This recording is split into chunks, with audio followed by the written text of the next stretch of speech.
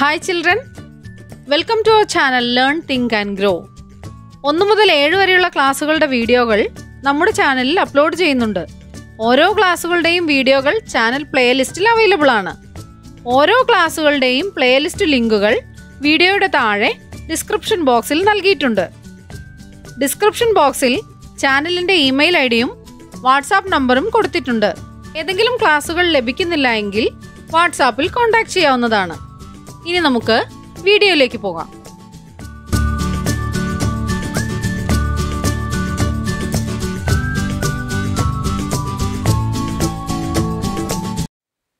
Unit ഏഴ് തുല്യമായതും ബാക്കി വന്നതും. ഭാഗം അഞ്ച്. ചെയ്തു നോക്കാതെ പറയാം. സിനി ഒരു സംഖ്യയെ നാലുകൊണ്ട് ഹരിക്കുന്നതിന് പകരം രണ്ട് കൊണ്ട് ഹരിച്ച് നൂറ് എന്നെഴുതി. നാല് കൊണ്ട് ഹരിച്ചാൽ ഹരണഫലം എത്രയായിരിക്കും? ആദ്യം സംഖ്യ ഏതെന്ന് കണ്ടുപിടിക്കണം. സംഖ്യ എങ്ങനെ കണ്ടുപിടിക്കാം? ഹരണഫലം ഗുണിക്കണം ഹാരകം കൂട്ടണം ശിഷ്ടമാണ് ഹാര്യമെന്ന് പറയുന്നത്. ഇവിടെ ശിഷ്ടത്തിന്റെ കാര്യമൊന്നും പറഞ്ഞിട്ടില്ല. രണ്ട് കൊണ്ട് ഹരിച്ച് നൂറ് എന്നെഴുതി എന്നാണ് പറഞ്ഞിരിക്കുന്നത്. രണ്ട് ഹാരകമാണ്. നൂറ് എന്നത് ഹരണഫലമാണ്. രണ്ട് ഗുണിക്കണം നൂറ് എത്രയാണ്? ഇരുന്നൂറാണ്. അപ്പോൾ സംഖ്യ ഇരുന്നൂറാണ്. ഇരുന്നൂറിനെ രണ്ട് കൊണ്ട് ഹരിച്ചപ്പോഴാണ് നൂറ് എന്നെഴുതിയത്. സംഖ്യയെ എത്ര കൊണ്ടായിരുന്നു ഹരിക്കേണ്ടത്? നാല് കൊണ്ടായിരുന്നു ഹരിക്കേണ്ടത്. ഇരുന്നൂറിനെ നാല് കൊണ്ട് ഹരിച്ചാൽ ഹരണഫലം എത്രയായിരിക്കും? ഇരുപതിൽ നാല് അഞ്ച് തവണയാണ്. നാല് ഗുണിക്കണം അഞ്ചാണ് ഇരുപത്. ഇരുന്നൂറിൽ നാല് എത്ര തവണയാണ്? അൻപത് തവണയാണ് നാല് അൻപതാണ് ഇരുന്നൂറ്. ഹരണഫലം അൻപതാണ്. അടുത്ത ചോദ്യം നോക്കാം. ഒരു സംഖ്യയെ മൂന്ന് കൊണ്ട് ഹരിച്ചപ്പോൾ പത്ത് ഹരണഫലവും രണ്ട് ശിഷ്ടവും കിട്ടി. സംഖ്യ ഏത്? എങ്ങനെ കണ്ടെത്താം? ഹാരകം ഗുണിക്കണം ഹരണഫലം കൂട്ടണം ശിഷ്ടമാണ് ഹാര്യം എന്ന് പറയുന്നത്. ഇവിടെ എത്ര കൊണ്ടാണ് ഹരിച്ചത്? മൂന്ന് കൊണ്ട്. ഹരണഫലം എത്രയാണ്? പത്താണ്. മൂന്ന് ഗുണിക്കണം പത്ത് കൂട്ടണം ശിഷ്ടം. ശിഷ്ടം എത്രയാണ്? രണ്ടാണ്. മൂന്ന് ഗുണിക്കണം പത്ത് മുപ്പത്. മുപ്പത് കൂട്ടണം രണ്ട് മുപ്പത്തിരണ്ട്. സംഖ്യ എത്രയാണ്? മുപ്പത്തിരണ്ടാണ്. തൊണ്ണൂറ്റിയൊന്നിനെ പത്ത് കൊണ്ട് ഹരിച്ചാൽ ശിഷ്ടം എത്ര? തൊണ്ണൂറ്റിയൊന്നിൽ എത്ര പത്തുണ്ട്? ഒൻപത് പത്താണെന്ന് എല്ലാവർക്കും അറിയാം. ഒൻപത് പത്ത് തൊണ്ണൂറാണ്. ശിഷ്ടം പിന്നെ എത്രയാണ്? ശിഷ്ടം ഒന്നാണ്. പൂർത്തിയാക്കാം. നൂറ് ഹരിക്കണം നാല്. ഇരുന്നൂറ് ഹരിക്കണം നാല്. നാനൂറ് ഹരിക്കണം നാല്. എണ്ണൂറ് ഹരിക്കണം നാല്. ആയിരത്തി അറുന്നൂറ് ഹരിക്കണം നാല്. എന്താണ് ഇവിടെ സംഖ്യകളുടെ പ്രത്യേകത? നൂറിന്റെ ഇരട്ടിയാണ് ഇരുന്നൂറ് ഇരുന്നൂറിന്റെ ഇരട്ടിയാണ് നാനൂറ്. നാനൂറിന്റെ ഇരട്ടിയാണ് എണ്ണൂറ്. എണ്ണൂറിന്റെ ഇരട്ടിയാണ് ആയിരത്തി അറുന്നൂറ് തന്നിട്ടുള്ള സംഖ്യകളുടെ ഇരട്ടിയെ നാല് കൊണ്ട് ഹരിക്കുക. എല്ലാ സംഖ്യകളെയും ഹരിക്കേണ്ടത് നാല് കൊണ്ടാണ്. നൂറിനെ നാല് കൊണ്ട് ഹരിച്ചാൽ എത്രയാണ് ഹരണഫലം കിട്ടുന്നത്? ഇരുപത്തിയഞ്ച്. നാല് ഇരുപത്തിയഞ്ചാണ് നൂറ് എന്ന് പറയുന്നത്. ഇരുന്നൂറിനെ നാല് കൊണ്ട് ഹരിച്ചാലോ? എത്രയായിരിക്കും? അൻപത്. എന്താണ് ഇവിടെ പ്രത്യേകത? ഹരണഫലവും ഇരട്ടിയായാണ് വരുന്നത്. സംഖ്യയുടെ ഇരട്ടിയെ നാല് കൊണ്ട് ഹരിക്കുന്നു താഴേക്ക്. അതുപോലെ ഉത്തരമായി വരുന്നതോ? ഇരട്ടിയാണ്. ഇരുപത്തിയഞ്ചിന്റെ ഇരട്ടിയാണ് അൻപത്. അങ്ങനെയെങ്കിൽ നാനൂറിനെ നാല് കൊണ്ട് ഹരിക്കുമ്പോഴോ? നൂറാണ്. ഉത്തരം നൂറാണ് വരുന്നത്. അൻപതിന്റെ ഇരട്ടിയാണ് നൂറ്. ഇരുന്നൂറിന്റെ ഇരട്ടിയാണ് നാനൂറ്. ഉത്തരമായി വന്നതോ? അൻപതിന്റെ ഇരട്ടി നൂറാണ് ഉത്തരമായി വന്നത്. അടുത്തതോ? എണ്ണൂറ് ഹരിക്കണം നാല്. നാനൂറിന്റെ ഇരട്ടിയാണ് എണ്ണൂറ്. ഉത്തരത്തിലോ? നൂറിന്റെ ഇരട്ടിയല്ലേ വരിക? അതെ നൂറിന്റെ ഇരട്ടി ഇരുന്നൂറാണ് ഉത്തരമായി വരുന്നത്. അടുത്തത് നോക്കൂ. ആയിരത്തി അറുന്നൂറ്. എണ്ണൂറിന്റെ ഇരട്ടിയാണ്. ഉത്തരമോ? ഇരുന്നൂറിന്റെ ഇരട്ടിയായിരിക്കും. ഇരുന്നൂറിന്റെ ഇരട്ടി നാനൂറ്. മനക്കണക്ക്. രണ്ടേ ഗുണം അഞ്ചേ ഗുണം. അടുത്ത സംഖ്യ തന്നിട്ടില്ല. ഉത്തരമായി വന്നത് ഇരുന്നൂറ്റി നാൽപ്പതാണ് രണ്ടേ ഗുണം അഞ്ച് പത്താണെന്നറിയാം. ഏതു സംഖ്യയെ പത്ത് കൊണ്ട് ഗുണിക്കുമ്പോഴാണ് ഇരുന്നൂറ്റി നാൽപ്പത് കിട്ടുന്നത്? അതെ ഇരുപത്തിനാലിനെയാണ്. ഇരുപത്തിനാല് ഗുണം പത്താണ് ഇരുന്നൂറ്റി നാൽപ്പത് ഏതൊരു സംഖ്യയെയും പത്ത് കൊണ്ട് ഗുണിക്കുമ്പോൾ ഒന്നുകളുടെ സ്ഥാനത്ത് ഒരു പൂജ്യം ചേർത്താൽ മതി. അങ്ങനെയെങ്കിൽ ഇവിടെ ഇരുപത്തിനാലാണ് രണ്ടേ ഗുണം അഞ്ച് പത്താണ്. പത്തേ ഗുണം ഇരുപത്തിനാലാണ് ഇരുന്നൂറ്റി നാൽപ്പത് അടുത്തതോ? രണ്ട് ഗുണം അഞ്ച് എന്ന് തന്നിട്ടുണ്ട്. ഒരു സംഖ്യ തന്നിട്ടില്ല. ഉത്തരമായി വരുന്നത് എഴുന്നൂറ്റി എൺപതാണ് രണ്ട് ഗുണം അഞ്ച് പത്താണെന്നറിയാം. പത്തിനെ ഏത് സംഖ്യയുടെ കൂടെ ഗുണിക്കുമ്പോഴാണ് എഴുന്നൂറ്റി അൻപത് കിട്ടുന്നത്? എഴുപത്തിയഞ്ചാണല്ലേ? എഴുപത്തിയഞ്ച് ഗുണം പത്താണ് എഴുന്നൂറ്റി അൻപത് അടുത്തതോ? ഇരുപത്തിയഞ്ച് ഗുണം നാല് എന്ന് തന്നിട്ടുണ്ട്. ഉത്തരം രണ്ടായിരമാണ്. ഇരുപത്തിയഞ്ച് ഗുണം നാല് എന്നാൽ നൂറാണ്. നൂറിനെ ഏത് സംഖ്യയുടെ കൂടെ ഗുണിക്കുമ്പോഴാണ് രണ്ടായിരം വരുന്നത്? നൂറ് കൊണ്ടൊരു സംഖ്യയെ ഗുണിക്കുമ്പോഴുള്ള പ്രത്യേകത എന്താണ്? രണ്ട് പൂജ്യം ചേർത്ത് കൊടുക്കും അല്ലേ? സംഖ്യയുടെ കൂടെ രണ്ട് പൂജ്യം ചേർത്ത് കൊടുത്താൽ ഉത്തരമായി. ഇവിടെ ഉത്തരം കൊടുത്തിരിക്കുന്നത് രണ്ടായിരം എന്നാണ്. നൂറിന്റെ രണ്ട് പൂജ്യമാണ് ചേർത്ത് കൊടുത്തിരിക്കുന്നത്. അങ്ങനെയെങ്കിൽ വിട്ടുപോയ സംഖ്യ ഏതാണ്? ഇരുപതായിരിക്കും. ഇരുപത്തിയഞ്ച് ഗുണിക്കണം നാല് നൂറാണ്. ഇരുപതിനെ നൂറ് കൊണ്ട് ഗുണിക്കുമ്പോഴാണ് രണ്ടായിരം ഉത്തരമായി വരുന്നത്. അടുത്തത് നോക്കൂ. പത്തൊൻപത് ഗുണിക്കണം അൻപത് ഗുണിക്കണം. അടുത്ത സംഖ്യ തന്നിട്ടില്ല. ഉത്തരമായി വന്നിരിക്കുന്നത് ആയിരത്തി തൊള്ളായിരമാണ് ആയിരത്തി തൊള്ളായിരം ഉത്തരമായി വരുന്നത് എങ്ങനെയാണ്? പത്തൊൻപതിനെ നൂറ് കൊണ്ട് ഗുണിക്കുമ്പോഴാണ് ആയിരത്തി തൊള്ളായിരം എന്ന് ഉത്തരമായി വരുന്നത്. ഇവിടെ നോക്കൂ. പത്തൊൻപത് ഗുണിക്കണം അൻപതുണ്ട്. അടുത്ത സംഖ്യ ഏതായിരിക്കും? അൻപതിനെ എത്ര കൊണ്ട് ഗുണിക്കുമ്പോഴാണ് നൂറാവുക? രണ്ട് കൊണ്ട് ഗുണിക്കുമ്പോഴാണ് രണ്ട് ഗുണം അൻപത് നൂറാണ്. പത്തൊൻപത് ഗുണിക്കണം നൂറാണ് ആയിരത്തി തൊള്ളായിരം വിട്ടുപോയ സംഖ്യ രണ്ടാണ്. അടുത്തതോ? ഇരുപത് ഗുണിക്കണം അൻപത് ഗുണിക്കണം. അടുത്ത സംഖ്യ വിട്ടുപോയിരിക്കുന്നു. ഉത്തരമായി വന്നത് അയ്യായിരമാണ്. ഇരുപത് ഗുണം അൻപത് എത്രയാണ്?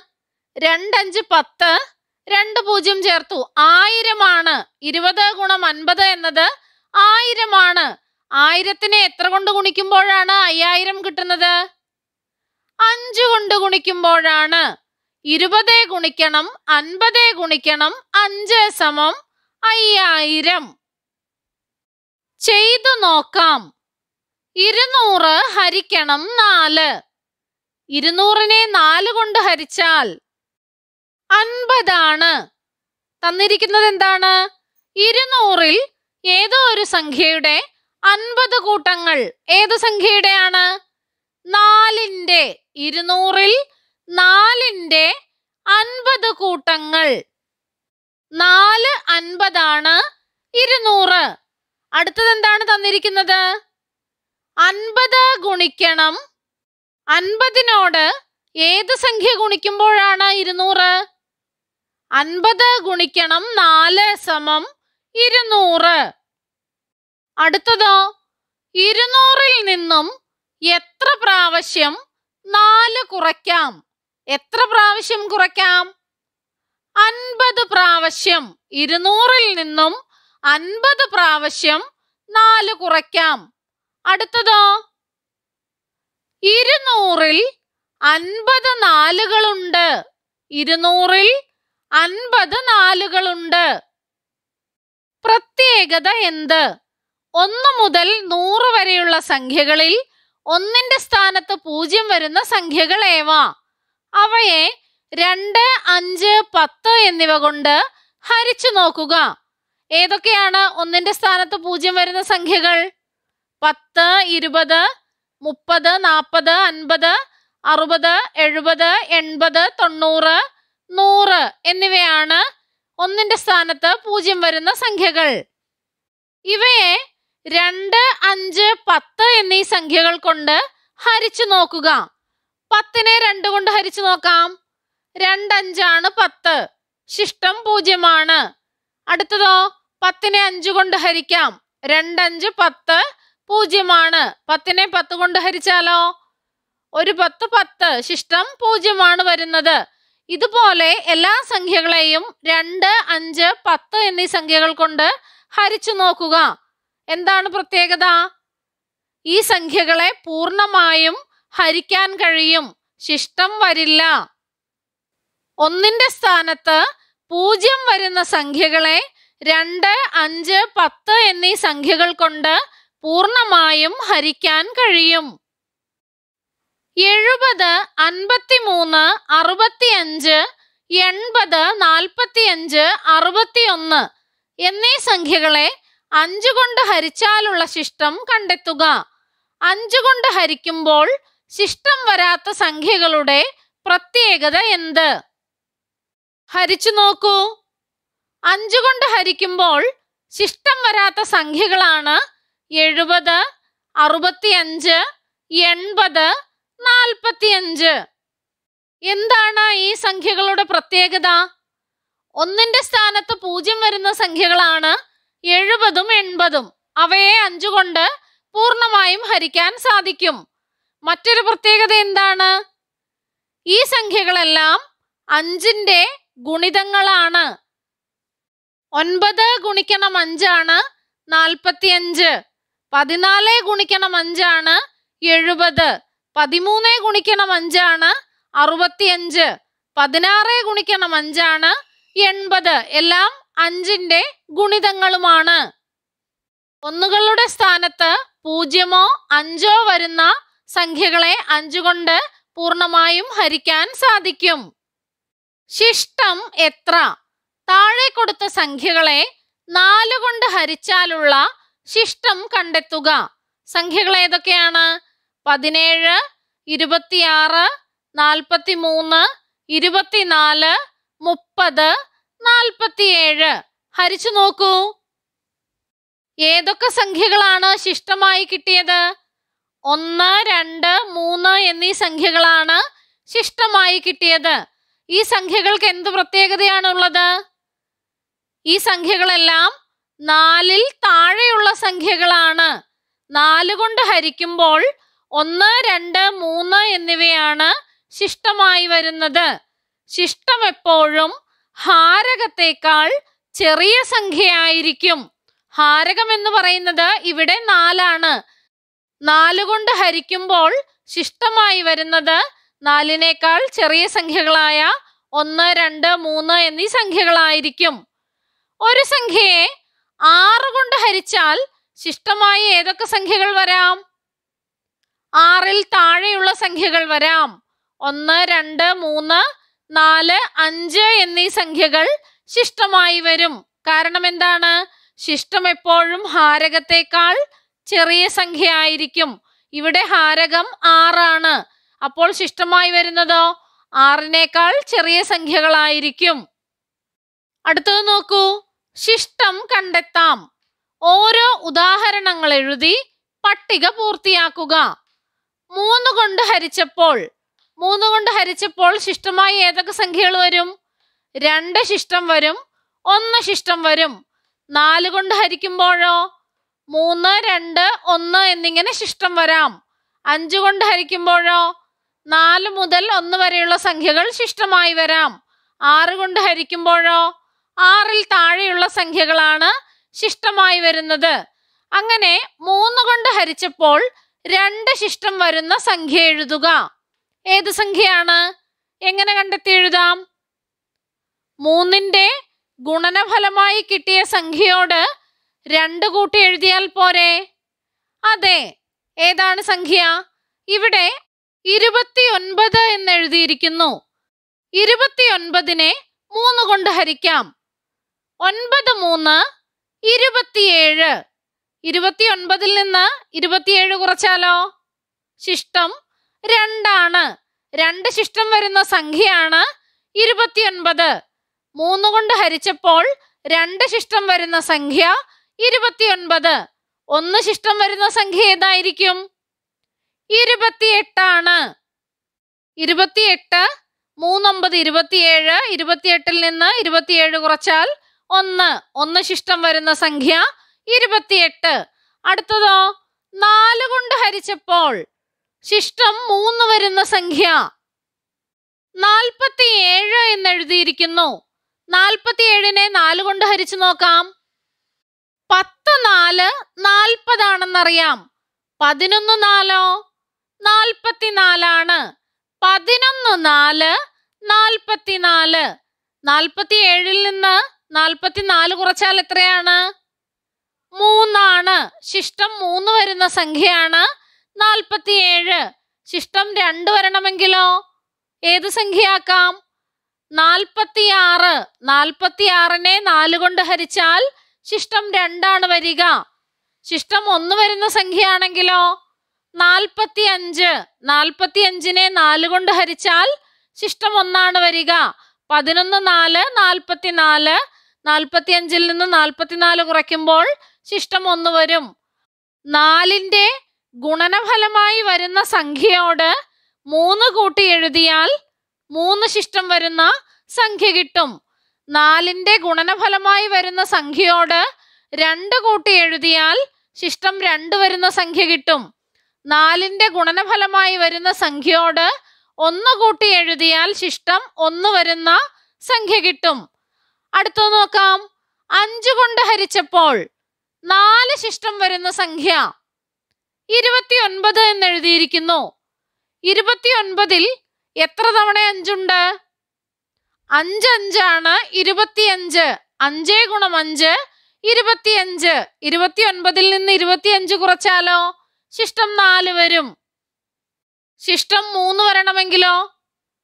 അഞ്ചിന്റെ ഗുണനഫലമായി വരുന്ന സംഖ്യയോട് മൂന്ന് കൂട്ടിയാൽ പോരെ? അതെ ഇവിടെ മുപ്പത്തി എട്ട് എന്ന് എഴുതിയിരിക്കുന്നു. അഞ്ചിന്റെ ഗുണനഫലമായി വരുന്ന സംഖ്യ ഏതായിരിക്കും? മുപ്പത്തി അഞ്ച് ഏഴ് അഞ്ചാണ് മുപ്പത്തി അഞ്ച് മുപ്പത്തി എട്ടിൽ നിന്ന് മുപ്പത്തി അഞ്ച് കുറച്ചാൽ മൂന്നാണ്. അതുപോലെ ശിഷ്ടം രണ്ട് വരുന്ന സംഖ്യ നാൽപ്പത്തി ഏഴ് എന്ന് എഴുതിയിരിക്കുന്നു. ഒമ്പത് അഞ്ചാണ് നാൽപ്പത്തി അഞ്ച് നാൽപ്പത്തി ഏഴിൽ നിന്ന് നാൽപ്പത്തി അഞ്ച് കുറച്ചാൽ രണ്ട് ശിഷ്ടം വരും. ഒന്ന് ശിഷ്ടം വരുന്ന സംഖ്യ അൻപത്തി ഒന്ന് എന്ന് എഴുതിയിരിക്കുന്നു. പത്തേ ഗുണം അഞ്ച് അൻപതാണ്. അൻപതിനോട് ഒന്നുകൂടെ കൂട്ടിയാലാണ് അൻപത്തിയൊന്ന്. അടുത്തത് നോക്കൂ. ആറ് കൊണ്ട് ഹരിച്ചപ്പോൾ ആറ് കൊണ്ട് ഹരിക്കുമ്പോൾ അഞ്ച് മുതൽ താഴേക്കുള്ള സംഖ്യകളാണ് ശിഷ്ടമായി വരുന്നത്. അഞ്ച് ശിഷ്ടം വരുന്ന ഒരു സംഖ്യ ഏതാണ്? നാൽപ്പത്തി ഒന്ന് നോക്കാം. നാൽപ്പത്തി ഒന്ന് ആറ് കൊണ്ട് ഹരിക്കുമ്പോൾ ആറ് മുപ്പത്തിയാറ് നാൽപ്പത്തി ഒന്നിൽ നിന്ന് മുപ്പത്തി ആറ് കുറച്ചാൽ അഞ്ച് ശിഷ്ടം വരും. നാല് ശിഷ്ടം വരണമെങ്കിൽ എന്താണ് ചെയ്യേണ്ടത്? ആറിന്റെ ഗുണനഫലമായി വരുന്ന സംഖ്യയോട് നാല് കൂട്ടിയാൽ മതി. ഇവിടെ അൻപത്തി എട്ട് എന്ന് എഴുതിയിരിക്കുന്നു. ഏതാണ് ആറിന്റെ ഗുണനഫലമായി വരുന്ന സംഖ്യ? ഒമ്പത് ആറ് അൻപത്തിനാല്. അൻപത്തി എട്ടിൽ നിന്ന് അൻപത്തിനാല് കുറച്ചാൽ ശിഷ്ടം നാല് വരും. അതുപോലെ ബാക്കിയുള്ളവ കൂട്ടുകാർ ചെയ്തു നോക്കൂ. അടുത്ത ചോദ്യം നോക്കാം. പുതുതായി ലഭിച്ച അൻപത്തി ആറ് കഥാപുസ്തകങ്ങൾ ഏഴ് ക്ലാസ് ലൈബ്രറികൾക്ക് തുല്യമായി വീതിച്ചു നൽകി. ഓരോ ക്ലാസ് ലൈബ്രറിക്കും എത്ര പുസ്തകങ്ങൾ വീതം ലഭിച്ചിരിക്കും? എന്താണ് പറഞ്ഞിരിക്കുന്നത്?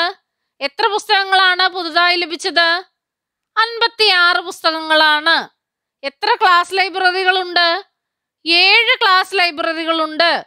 തുല്യമായി വീതിക്കണം. ഒരു ക്ലാസ് ലൈബ്രറിക്ക് എത്ര പുസ്തകങ്ങൾ ലഭിക്കും? എന്താണ് ചെയ്യേണ്ടത്? അൻപത്തിയാറ് ഹരിക്കണം ഏഴ്. ഹരിച്ചു നോക്കൂ. അൻപത്തിയാറിൽ ഏഴ് എത്ര തവണയുണ്ട്? എട്ട് ഏഴാണ് അൻപത്തിയാറ്. എട്ട് ഏഴ് അൻപത്തിയാറ്. ഒരു ക്ലാസ് ലൈബ്രറിക്ക് ലഭിച്ച പുസ്തകങ്ങളുടെ എണ്ണം എട്ടാണ്.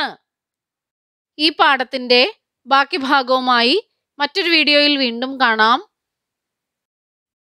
നമ്മുടെ ചാനലിൽ അപ്ലോഡ് ചെയ്യുന്ന എല്ലാ വീഡിയോകളും കുട്ടികൾക്ക് ഉപകാരപ്പെടുന്നുവെന്നറിയിച്ച എല്ലാവർക്കും നന്ദി. ഒന്ന് മുതൽ ഏഴ് വരെ ക്ലാസ്സുകളുടെ എല്ലാ വീഡിയോകളും നമ്മുടെ ചാനലിൽ അപ്ലോഡ് ചെയ്യുന്നതായിരിക്കും. അപ്ലോഡ് ചെയ്യുന്ന എല്ലാ വീഡിയോകളും കാണുന്നതിനായി ചാനൽ മെമ്പർഷിപ്പിൽ ജോയിൻ ചെയ്യാം. അതിനായി ചെയ്യേണ്ടത് ഇത്രമാത്രം.